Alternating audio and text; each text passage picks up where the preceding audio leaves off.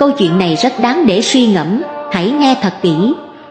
Một hôm gì thiền sư dẫn một thiền sinh đến trước một ngọn núi. Thiền sư hỏi con thấy ngọn núi này thế nào? Thiền sinh trả lời dạ núi cao, đẹp, hùng vĩ. Thiền sư nói tiếp, nào đi cùng ta lên núi.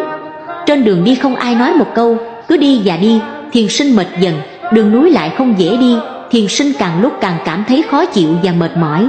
Đợi lên đến đỉnh núi, thiền sư hỏi ngọn núi mà con nhìn thấy như thế nào? Thiền sinh đáp, ngọn núi này không ổn.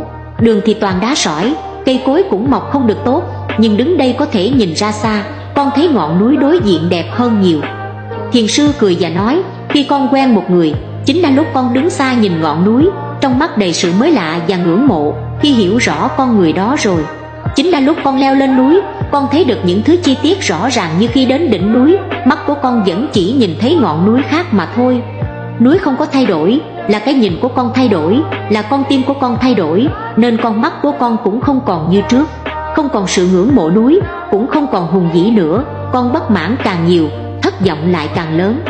Tại sao con có thể đứng trên đỉnh núi này nhìn ngọn núi khác, là bởi vì ngọn núi ấy trở nên tầm thường, không còn thiên liêng giá trị nữa.